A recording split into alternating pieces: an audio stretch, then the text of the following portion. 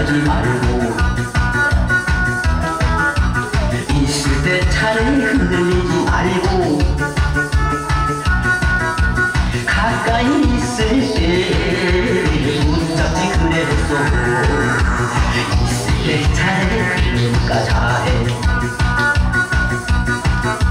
일본이 맞은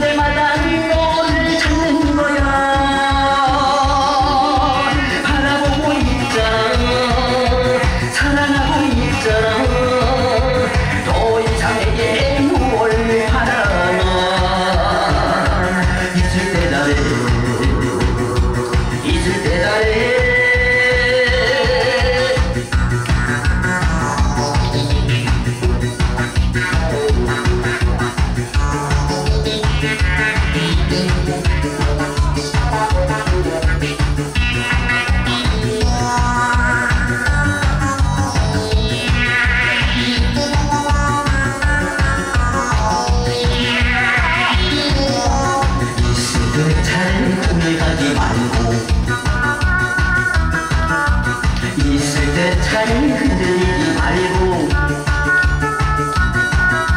가까이 있을 때 문짝 지 그래 뱃속으로 있을 때 잘해 그러니까 잘해.